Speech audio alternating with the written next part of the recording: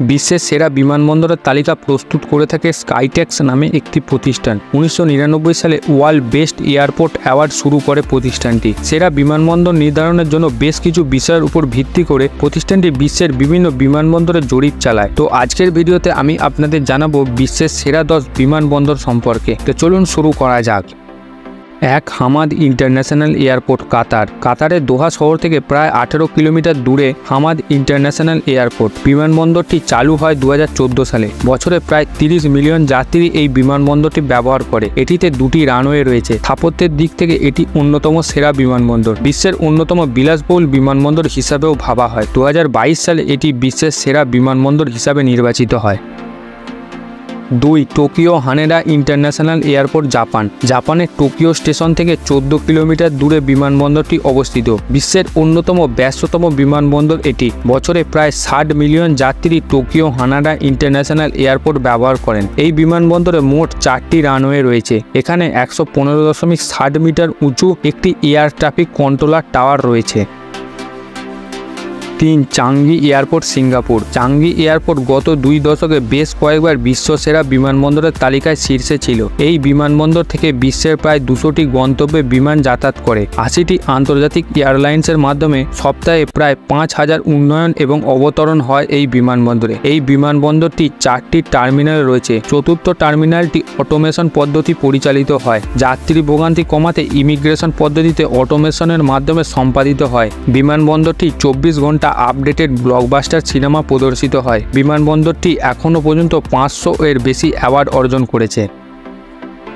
চার, Tokyo Narita Airport, Japan. Narita জাপানের সর্ববৃহৎ আন্তর্জাতিক বিমানবন্দর। দেশটির নারিতা শহরে এটি অবস্থিত। বিমানবন্দরটির কিছু অংশ শিবায়ামা শহরে অবস্থিত। বিমানবন্দরটির চারটি টার্মিনাল রয়েছে ও দুটি রানওয়ে রয়েছে। জাপানের দ্বিতীয় ব্যস্ততম বিমানবন্দর এটি।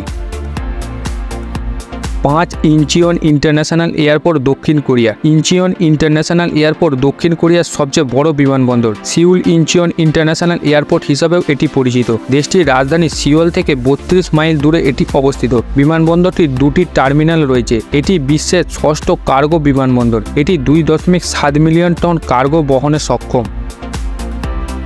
ছয় প্যারিস সালদা গোল বিমানবন্দর ফ্রান্স। প্যারিসের সালদা গোল বিমানবন্দর ফ্রান্সের বৃহত্তম আন্তর্জাতিক বিমানবন্দর। প্যারিসের উত্তর পূর্বে তেইশ কিলোমিটার দূরে রোসি এন ফ্রান্সে এটি অবস্থিত। বিমানবন্দরটি প্যারিসে এয়ারপোর্ট ব্র্যান্ডের অধীনে এডিপিও দ্বারা পরিচালিত। বিমানবন্দরটিতে তিনটি টার্মিনাল রয়েছে। সাত মিউনিক এয়ারপোর্ট, জার্মানি। জার্মানির দ্বিতীয় ব্যস্ততম বিমানবন্দর মিউনিক এয়ারপোর্ট। এটি মিউনিক শহর থেকে প্রায় তিরিশ কিলোমিটার দূরে অবস্থিত। এখানে তিনটি টার্মিনাল ও দুটি রানওয়ে রয়েছে। তিন হাজার আটশো বিরানব্বই একর জমি জুড়ে বিস্তৃত এটি। এখানে একশো পঞ্চাশটি রিটেল স্টোর এবং পঞ্চাশটি জায়গা রয়েছে যেখানে খাদ্যদ্রব্য ও পানীয় পাওয়া যায়। বিমানবন্দরটি অনেকটা সিটি সেন্টারের মতো। আট ইস্তাবুল বিমানবন্দর তুরস্ক। তুরস্কের ইস্তাবুল শহরে অবস্থিত এই বিমানবন্দরটি। দু হাজার আঠেরো সালে এটি নির্মাণ কাজ শুরু হয়। প্রথম ধাপে কাজ শেষ হতে সময় লাগে প্রায় সাড়ে তিন বছর।